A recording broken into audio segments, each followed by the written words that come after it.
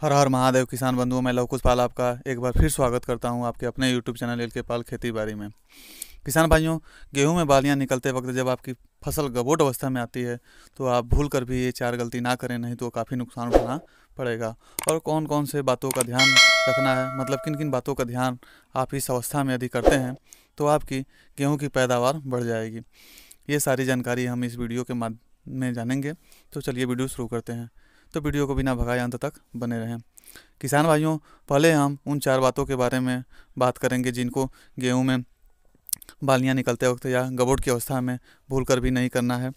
तो पहला काम जो है, वो है यूरिया का प्रयोग। किसान भाइयों, जब गेहूँ में बालियाँ निकल रही हैं, आपकी गेहूँ की फ़सल गबोट अवस्था में आ गई है तो इस समय, इस टाइम पर आपको यूरिया का प्रयोग भूल कर भी नहीं करना चाहिए।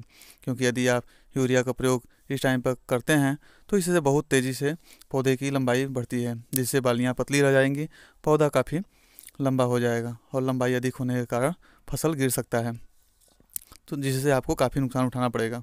तो इसलिए यूरिया का प्रयोग इस टाइम पर करने से बचना चाहिए। दूसरा, आपको किसान भाइयों, डीएपी, एनपीके, एसएसपी का दानेदार सीधे मिट्टी में प्रयोग नहीं करना चाहिए, क्योंकि इस टाइम गेहूँ में बालियाँ जब निकल रही हों, फ़सल गबोट की अवस्था में जब हो तो आप इन उर्वरकों का प्रयोग करते हैं तो आपके पौधे को इसका लाभ नहीं मिलता है, क्योंकि गेहूँ में बालियाँ निकलने की प्रक्रिया जब चल रही हो, तब आप इन उर्वरकों को देते हैं तो मिट्टी में मिलने के बाद दस से पंद्रह दिन बाद इनका काम चालू होता है।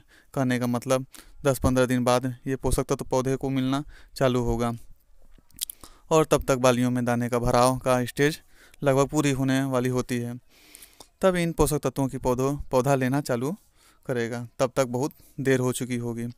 तो इसलिए किसान भाइयों, यदि आप इसका प्रयोग करेंगे तो केवल और केवल आपका पैसा बर्बाद होगा और इसका लाभ आपकी फ़सल को नहीं मिलेगा। इसलिए व्यर्थ में पैसा खर्च करने से बचना चाहिए। तीसरा काम की बात करें तो किसान भाइयों, ग्रोथ प्रमोटर, इस टाइम पर जब पौधे में बालियाँ निकल चुकी हैं, आपकी फ़सल गबोट अवस्था में पहुँच चुकी है तो इस टाइम पर यदि आप ग्रोथ प्रमोटर देते हैं तो इसका कोई विशेष लाभ आपके पौधे को नहीं मिलेगा। ग्रोथ प्रमोटर का लाभ पौधे को जो है, वह लगभग पचास से साठ दिन का समय जब हो चुका होता है तो उस समय ग्रोथ प्रमोटर देने पर पौधे को पूर्णतः लाभ मिलता है। तो इसलिए किसान भाइयों, इस स्टेज में आपको ग्रोथ प्रमोटर देने से बचना चाहिए और फालतू में पैसा बर्बाद नहीं करना चाहिए। आपको क्योंकि इसका फ़ायदा तो बिल्कुल नहीं मिलेगा हाँ लेकिन नुकसान उठाना पड़ सकता है। तो इसलिए इससे बचें।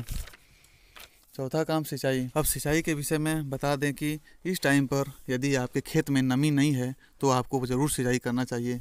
और यदि आप इस टाइम पर सिंचाई नहीं करते हैं तो पौधे में जो मुख्य रूप से पोषक तत्व तो मिट्टी से लेते हैं, जड़ों से लेते हैं, जब इस टाइम पर पौधों को अतिरिक्त पोषक तत्व तो की आवश्यकता होती है तो इस टाइम पर यदि आप सिंचाई नहीं करते हैं या लापरवाही करते हैं तो पूर्णतः पौधे को पोषक तत्व तो नहीं मिल पाएगा और पौधा पहले से ही सूखना चालू हो जाएगा और पोषक तत्व की कमी से बालियाँ छोटी और कमज़ोर रह जाएँगी। दाने का भराव भी ठीक से नहीं हो पाएगा, जिससे दाना पतला और सिकुड़ा रह जाएगा, जिसके कारण किसान भाइयों आपका उत्पादन भी प्रभावित होगा। तो किसान भाइयों, ये रहा चार काम जिनको आपको इस टाइम पर नहीं करना चाहिए, इससे करने से बचना चाहिए। और अब बात करते हैं उन कामों के बारे में जिनको आपको इस टाइम पर ज़रूर करना चाहिए, जिससे आप गेहूँ से काफ़ी बढ़िया उत्पादन ले सकें। तो पहला काम जो है, किसान भाइयों उर्वरकों का प्रयोग, जो इस टाइम आपको वो घुलनशील लिक्विड उर्वरक का भी प्रयोग ज़रूर करना है। खास तौर पर स्प्रे ऐसे उर्वरक जिसमें फास्फोरस और पोटास जैसे पोषक तत्व तो मौजूद होते हैं। तो यदि आप फास्फोरस और पोटास पोषक तत्व की पूर्ति कर देंगे स्प्रे के माध्यम से। तो पौधे को जो अतिरिक्त पोषक तत्व की आवश्यकता होती है इस टाइम पर तो वो पूरी हो जाएगी, जिससे दाने का भराव, बालियाँ, मोटी, दाना, वजनी, दाना चमकीला हो जाएगा, जिससे आपका उत्पादन अधिक होगा। तो ऐसे ही घुलनशील उर्वरकों का प्रयोग आपको ज़रूर करना है। जैसे हम आपको कुछ उर्वरकों, उर्वरक बता दें तो किसान भाइयों, जैसे तेरह, चालीस, तेरह हो गया, ज़ीरो बावन चौंतीस हो गया तो ये उर्वरक यदि आप इस टाइम पर देंगे तो आपको काफ़ी बढ़िया रिज़ल्ट देखने को मिलेगा। दूसरा है किसान भाइयों, बोरान की पूर्ति। यदि आपको लगता है कि आपके फ़सल में बोरान की कमी है तो आप इस टाइम पर किसान भाइयों, बोरान ज़रूर दीजिए, क्योंकि जो ये इस टाइम फूल बनता है, आपने देखा होगा, बालियों में गेहूँ के छोटे छोटे सफ़ेद रंग के फूल बनता है। यह आप ध्यान से देखेंगे तब आपको दिखेगा।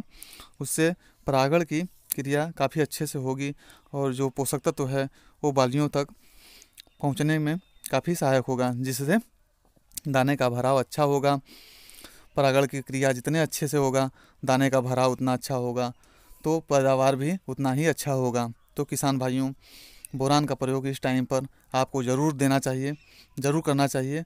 और तीसरा जो है, फफूंद जनित रोग। किसान भाइयों, अगर आपके पौधों में फफूंद रोग है तो उसका बचाव ज़रूर करें। इसके लिए आप फफूंद जनित स्प्रे का प्रयोग करें और अगर आपके पौधे में फफूंद रोग नहीं है तो इसके प्रयोग करने से बचें। फालतू में पैसा बर्बाद नहीं करना है। तो इस तरह से किसान भाइयों, आप जो बातें बताई गई हैं, यदि आप उसका अनुसरण करते हैं तो निश्चित ही आपके गेहूँ की पैदावार बढ़ेगी।